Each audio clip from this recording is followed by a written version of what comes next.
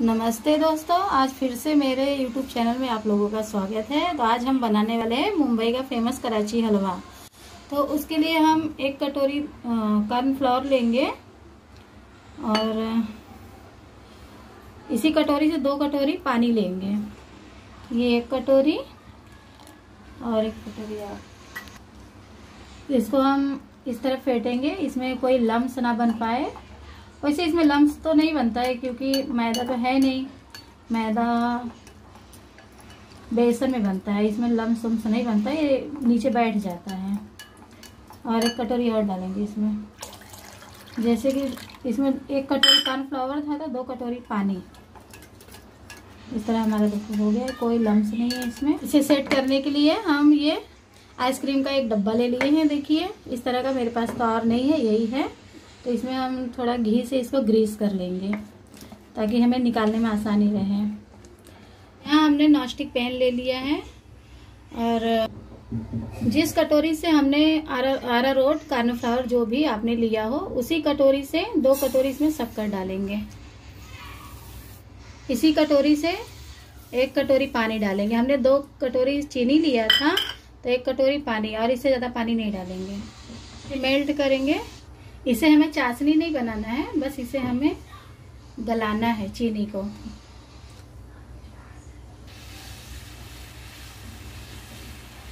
ये देखिए, हमारा चीनी मेल्ट हो चुका है तो हम गैस का फ्लेम स्लो कर देंगे और इसी में हम नींबू डालेंगे। नींबू इसलिए डालेंगे कि शक्कर हमारा जम जाता है ना तो नींबू डालने से हमारा शक्कर जमेगा नहीं।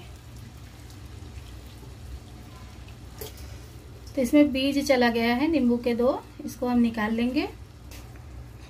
देखिए, नीचे हमारा बैठ जाता है तो उसको इस तरह हम वापस से मिलाएँगे, ताकि ये लम्ब ना रह पाए इसमें कुछ भी।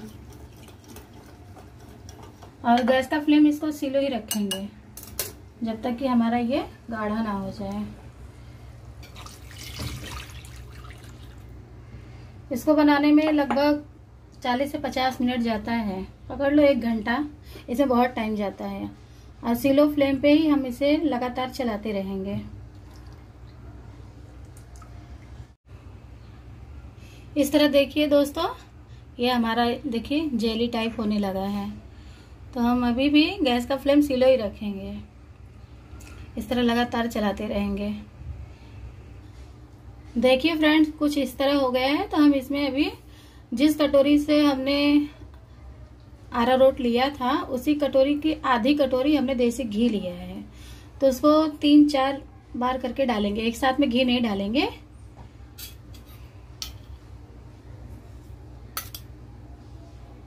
तब हम इसको लगातार चलाएँगे, जब तक ये अब्जॉर्ब ना कर ले।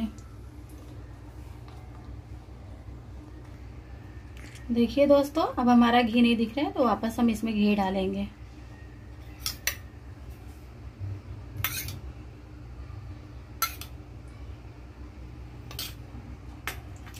लगातार इसी तरह चलाएँगे।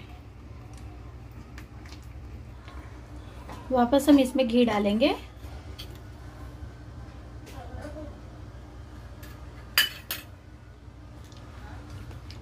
फटाफट इसी तरह चलाएँगे।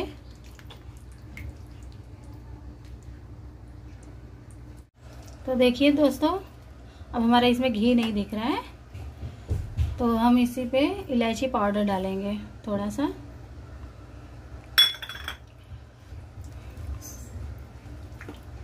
हमारा एकदम गाढ़ा होने लगा है। नहीं वाला है, ज़्यादा टाइम नहीं लगेगा। इसी पर हम डालेंगे अपना फ़ूड कलर आप कौन सा भी फ़ूड कलर ले सकते हो। ये हमारा जलेबी वाला कलर है ऑरेंज कलर लाल, हरा, कोई भी कलर आप ले सकते हो।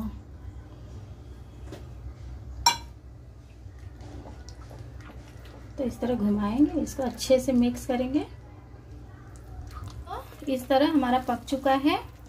ये देखिए, कैसा गोल गोल घूम रहा है। घी भी हमारा छोड़ दिया है देखिए साइड से।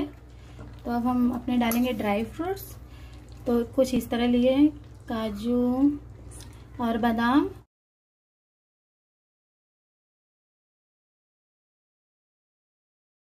इसको मिलाएँगे। अभी इसको थोड़ा और चलाएँगे। थोड़ा हमारा जब देखिए इस तरह का हो गया है ना थोड़ा और से इसको चलाएँगे। ये दोस्तों, ये हमारा पूरी तरह से अच्छे से पक चुका है। देखिए, कुछ इस तरह दिख रहा है। तो देखिए दोस्तों, ये हमारा बन चुका है, इसको हम अभी, देखिए, पूरा घी छोड़ दिया है।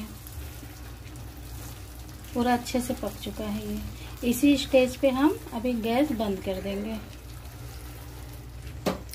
तो इसे, इसको पहले से ही कभी भी आप लोग बनाइए, पहले से इसको तैयार करके रखिए, क्योंकि ये ठंडा हो जाएगा तो फिर बनेगा नहीं सही से। इसको अच्छे से सेट कर लेंगे और इसको दो से तीन घंटे तक इसको पंखा के नीचे रख देंगे, जब ठंडा हो जाएगा। तो फिर हम इसको निकालेंगे इस तरह।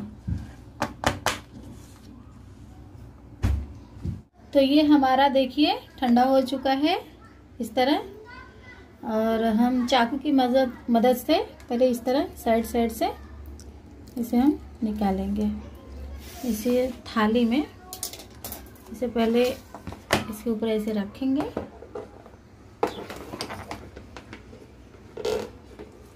ये देखिए, कितना प्यारा दिख रहा है?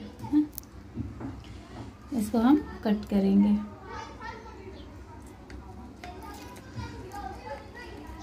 खुशबू बहुत अच्छी आ रही है।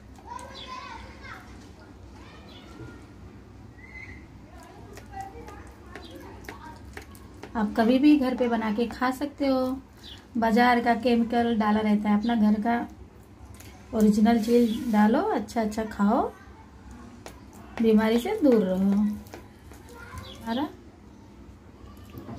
देखिए।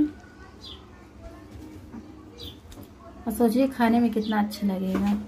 और कभी भी आप लोग बनाइए, एकदम नाप, जैसा मैंने बताया ना, उसी तरह आप लोग भी नाप के बताए, बनाइएगा। बिना नापे नहीं तो आप लोगों का अच्छा नहीं बनेगा।